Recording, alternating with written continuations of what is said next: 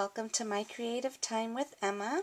Today I'm going to be um, showing you how I designed this card in my Gypsy um, that I'm doing for the Peachy Keen Challenge this week. Um, we're going to be, I'm going to be featuring this stamp set from Pe this is another new stamp set from them. And this one is called Bunny Dolls. Yeah, Bunny Dolls PK, PK265. This is uh, one of their newer stamp set also. So I'm going to be using this bunny for my card and we're going to be using, they have two sentiments, Big Easter Bunny Hugs and I Love You This Much. We're going to be using I Love You This Much, okay? I'm going to go ahead and show you how I did this on my Gypsy. Okay, here we go, all laid out on a 24 by 12 mat. As you could see, I wanted to make sure I had enough room for all the layers that I will be using for my card. For the two cartridges I did use for this was George and Basic Shapes and Tie the Knot. I had gotten the, I made the shape here of the card using, you know, that little unleak feature. So I went ahead, the size of this, um, of this from up and down is 10 inches and the width is five and a half. So when you close the card the actual card side is going to be a five by five and a half card.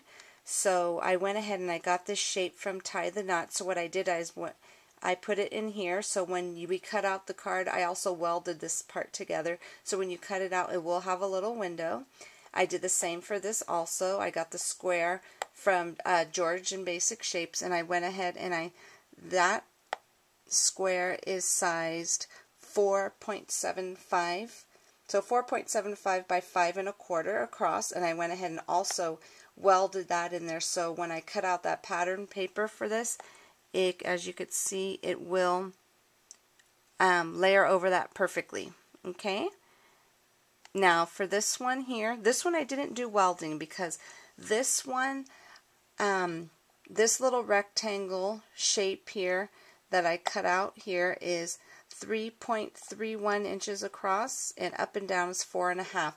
What I want this to do is I want it when it cuts out, I'm not going to weld it because I don't want it to all cut out together. I want it to cut out where this little window, a little portion of it cuts out. So this part could layer, it's going to layer right here so we could go ahead and follow the sketch that Peachy Keen has for this um, challenge this week. And for this one here, I just went ahead and I made a frame. So what I did is I got this same size, put it in the middle, and I made a bigger one on the outside, and I welded it together so this frame will fit perfectly over this. So let's, I already, uh, I went ahead and I cut everything out, so let's go ahead and put it together now. Okay, here are um, the pieces. I went ahead and I cut out the base of my card in white confetti cardstock and I went ahead and I scored it here at 5 inches. And I went ahead and I stamped my little bunny already. So what I did was I went ahead and I took a pencil and I traced the inside of the frame. And you can see I traced it there just so when I do um, stamp the bunny, it would be perfectly in there. So I'm going to go ahead and erase my little um, pencil mark right now. Okay, there we go. That's all erased. And what I did with him, I went ahead and I used my Copic markers to color him in. These are the Copic markers I use. I got a couple of questions, which ones I use, and it is, I use these. I like these because if you can see there's a variety of different colors and I like them because they kind of match the bold brights of the Stampin' Up cardstock and they work perfect for me. So this is what I use and the color I used to color in the little ears was this color here, this blush color. I used that color for the little ears, and I use this right here, this, um, what is this one? I think this is the cool gray. Yeah, the cool gray number one. This is not included with this set. That's actually separate. And I use that for like the little shadow around him and then I use my my regular like I use all the time the Stampin' Pastels chalk the pink chalk for the little uh, cheeks and for the tummy so I kind of went ahead and I prepared him already. So let's go ahead and put the rest of it together.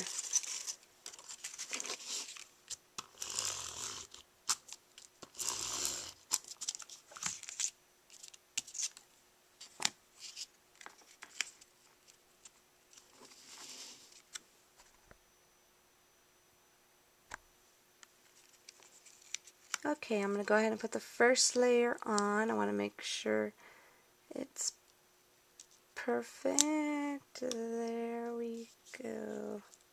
There we go. Okay, that's the first layer. And the second layer, before I add that, I want to go ahead and put a little piece of ribbon around that. And this is Plum Pudding Ribbon by Papertrey, Papertrey Ink. I love this color and I'm I'm actually running low. I'm going to have to place an order on that. Okay. Okay, I'm going to go ahead and tie this bow here. I don't have any rules about tying my ribbon, my bows. I just pretty much just kind of play with it until it gets the right way. Let's see, let's.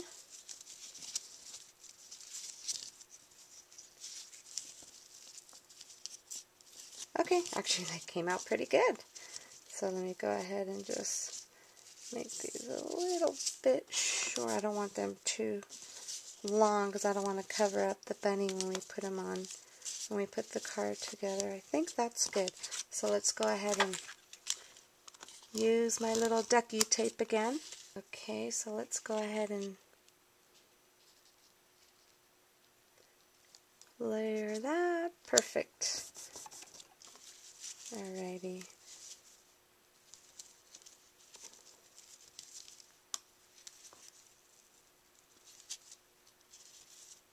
Okay, now the next thing we're going to do is we're going to put on our little frame here. And I'm going to, to put on the frame, I'm using this here, the Tombow Mono Aqua Liquid Glue. I love this stuff. So let's go ahead and just put this on the.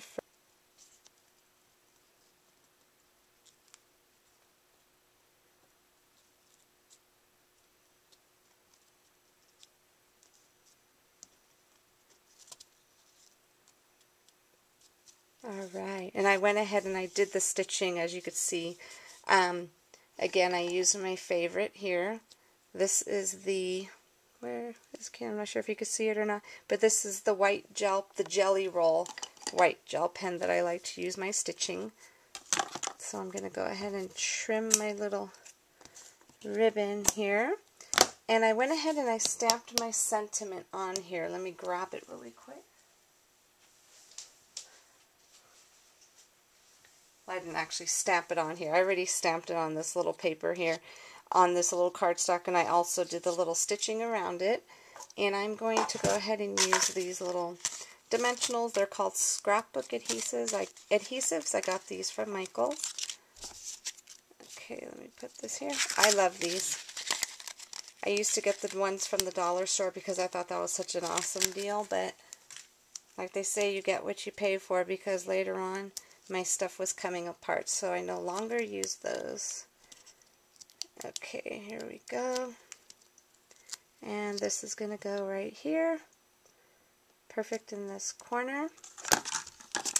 And then one last thing I have, a little ribbon for my little girl Benny. I thought she needed a little hair accessory. So let me go ahead and flip this over. And we're going to put this on right there for her. And let me use my little bone folder to make sure this... Okay, there we go. That is our card for today, everybody. I hope you enjoyed it, and I will see you back here soon. Have a great day. Bye-bye.